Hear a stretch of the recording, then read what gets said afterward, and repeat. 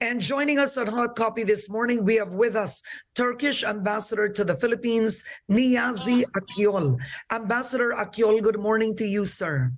Good morning. Thank you very much for having me.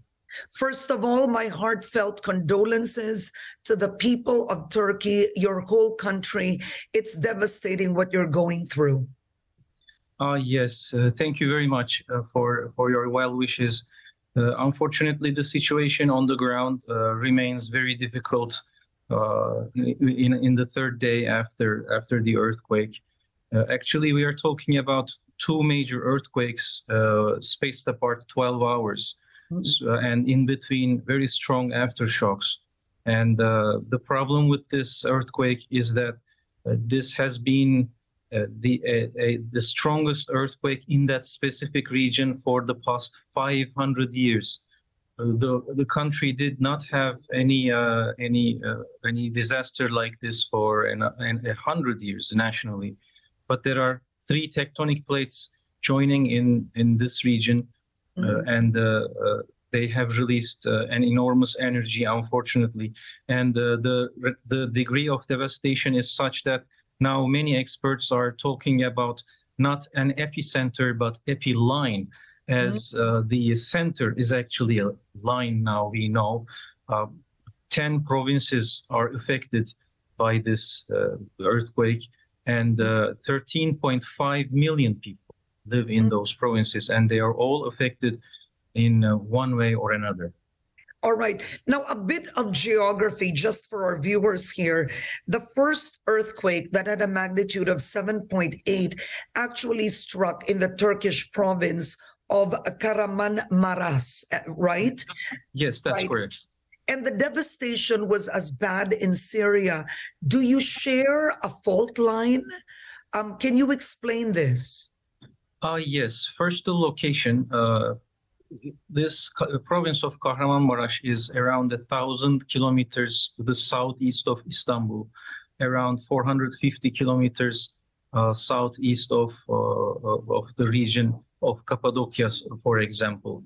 So uh, this region is close to the Syrian border, and uh, there is a major fault line actually inside Turkey.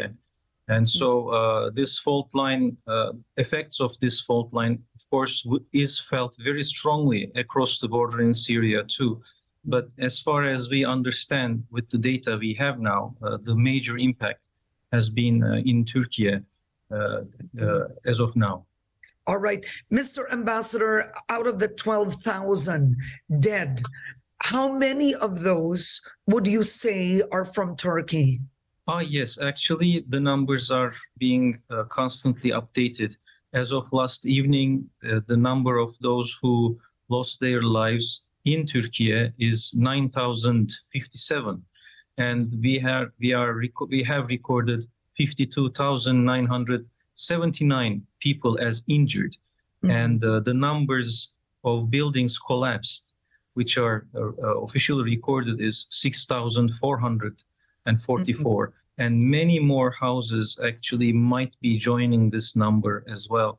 Unfortunately, as the hours pass, all of these numbers are ticking, ticking upwards, uh, unfortunately.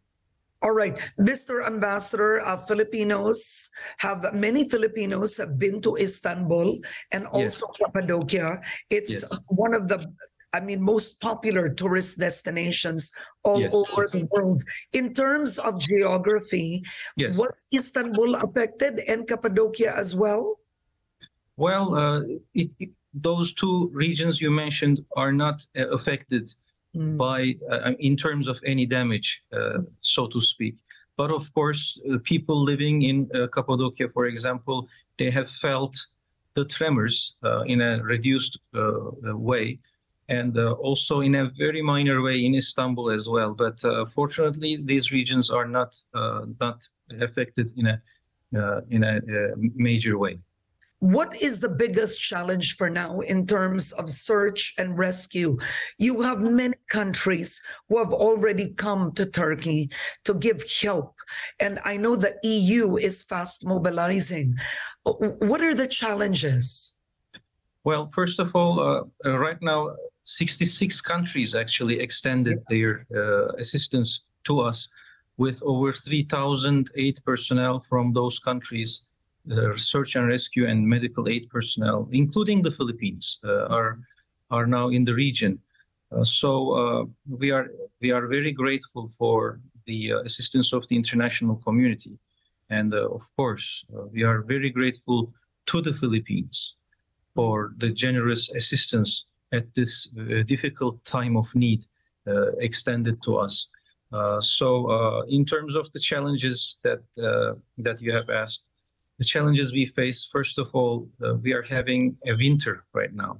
Okay. Winter in the in, in Turkey, and the region is experiencing minus five up to minus 10 degrees Celsius uh, temperatures at night, as well as heavy snowfall uh, in, in many areas, uh, intermittent snowfall, unfortunately. And so this is this general state of affairs, this this uh, climate, this weather, unfortunately uh, makes it very difficult for the work of rescue teams, search teams.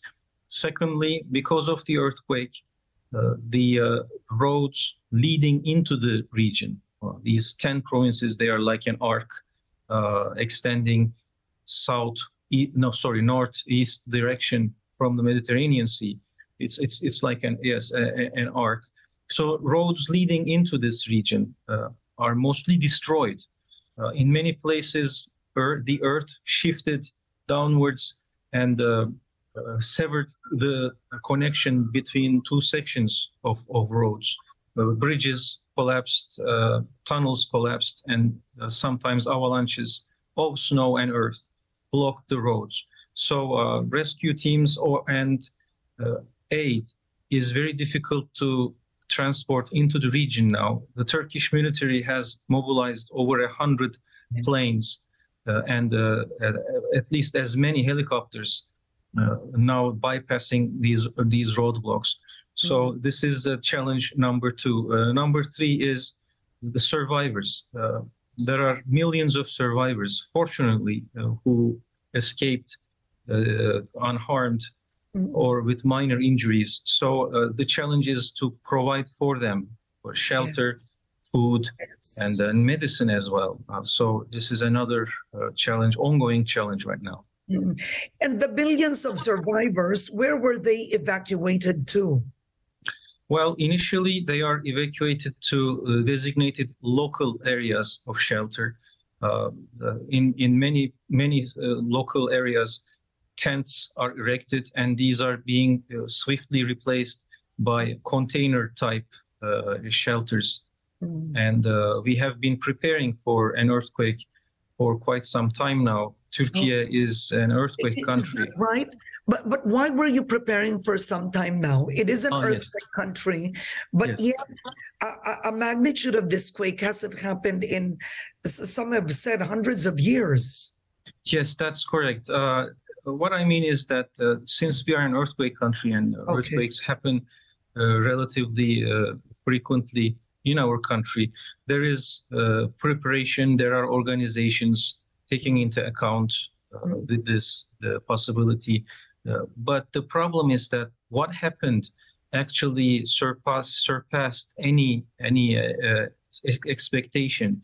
This mm. was an earthquake that affected a very large region with a very crowded uh, area actually.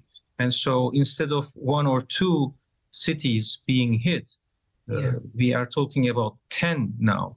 So yeah. this this was the problem. Otherwise, we have in place right now actually there, are, there is over a hundred thousand personnel uh, in the region uh, of, of all sorts of descriptions, not only search and rescue, but uh, mm. medical or aid teams. So this could be mobilized relatively quickly. Mm. however, the scale yeah, was unprecedented. Scale. Yes. And I wanted to, um, you know, Ambassador, the number of buildings that collapsed. Yes. Some have said it is the most number of buildings that have collapsed in recent history because of an earthquake.